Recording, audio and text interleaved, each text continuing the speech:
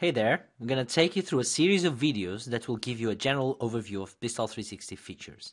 In this video, you will learn the fundamentals of the integrated knowledge base. The idea of the integrated knowledge base in BizTalk 360 is to allow you to document operational procedures right in BizTalk 360, exactly where you need it. Normally, customers document this type of operational procedures in an external system. They might be using SharePoint or a wiki site or even a share folder. With the integrated knowledge base in BizTalk 360, you can put this knowledge in BizTalk 360 and it will surface right in the places where you need that information. To configure the knowledge base, you need to go into the knowledge base configuration section. Here in the knowledge base configuration section, you can define knowledge base articles to different types of messages and events in BizTalk 360. You can associate knowledge base articles with your service instances, with your ESB exceptions, event logs, and throttling data. Let's start with knowledge base articles for service instances. I pre-created some articles to show you the capabilities that we've created to match knowledge base articles right into BizTalk 360. So let's start with the most simple example. And I created this article in BizTalk 360 so that it matches this generic message whenever it happens. To create the article, I have created an article title and I have associated this article with a particular error. Then we have the body of the article where you can insert rich text with the editing capabilities so that you can have uh, an article as rich as possible. And then on the bottom, we have the tagging capability, which allows you to load a particular article in different contexts. In this uh, particular article, I have not chosen any tag. So this article will show when service instances with this particular error code appear in BizTalk 360. So let's see an example of these.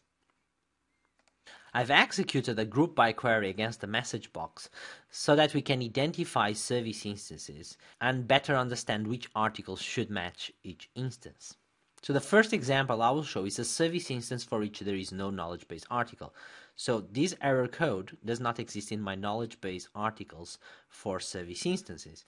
And so there is not any kind of visual cue when I look to the service instances. And if I go into the details of this service instance, there is no reference for a knowledge base article. If I choose a service instance that matches the error code I just documented, we can see there is a visual cue highlighting that there is a knowledge base article available for these particular instances. If I go into the details, I will see a new tab called knowledge base, and if I click on it, I will see the corresponding article. And this is exactly the article I documented for this particular error message you can also see that I have a few other articles matching the exact same error code. If you go into the details, you will see that I am I have a different article title and I have the same error code with a different article body. And then on the tags, I'm tagging this particular knowledge base article to tag one particular environment and then one particular application name. For this particular application, instead of showing the generic knowledge base article, I want to show this particular article because it suits better my application. So let's see this in action. So if I go back to my query, I can click on some service instances that are part of that application. And you can see there is still a KB article visual indication. And when I go into the details, I can see a more specific article that matches this particular application, as you can see here from the title of the article it says error in application customer order routing, which is the application that these service instances belong to. So let's take a look at a different article. In this case, the article is very specific to a send port. We can see the same error code and we see a different body and you can see I'm using an image just to show the capabilities of this editor and we are tagging this particular article to a specific environment and to a specific service name. This is one of the send ports in this particular application. So as you can see, this is a little bit more specific.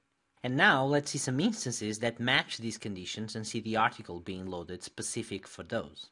If I go back to the queries and I click on some messages that are for that particular send port, I can see that the messages have associated knowledge base article, which I just showed you.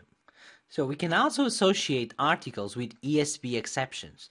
This is associating articles with particular faults that exist within the ESB exception database. The concept behind these knowledge base articles is very, very similar. I have created two different articles, one that matches a generic fault. Let's start with that one. This article is generic, so there is no tags associated with it, and we have an article title and a fault code, and we can see the body for this particular error. Since we don't have any tags, it's expectable that any fault of this type we'll see this particular article. So if we go here back to BizTalk 360 main screen and we go into ESB exceptions, we can see this fault code I just talked about, and we can also see a visual indication saying that there is a KB article associated with this particular fault. So if I click on the details, I can see the KB article tab, and the generic article is showing up. KB articles for ESB exceptions also allow tagging, so I have a different article here in this article, you can see we are still matching the same fault code and we have a different article body, but now we are tagging for applications. In this case, application 1. So if I go back to the ESB exceptions queries, we can see I have a lot of BizTalk application 1 related faults. And if I go into the details, I can see the KB article that matches this more specific type of fault. Now let's go and look at event logs and here we can see also an article that instead of matching service instances or ESB exceptions that matches event logs. In this case, the article is matching the event ID 30012 and it's a, a service bus related event. We can see a description of the problem and we are not using any tagging. The knowledge base articles for event logs also allow tagging based on the different fields available on an event log. If I execute an advanced event viewer query, you can see here that I have one entry that has a KB article visual indication. If I click on the details on these, I can see the knowledge base article I just showed you. And last, we also have some articles for matching throttling data. You can see we also pre-created some of those articles so that you don't have to create them.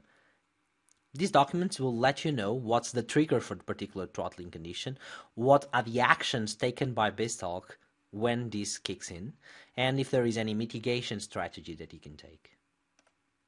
And this is all from knowledge-based articles.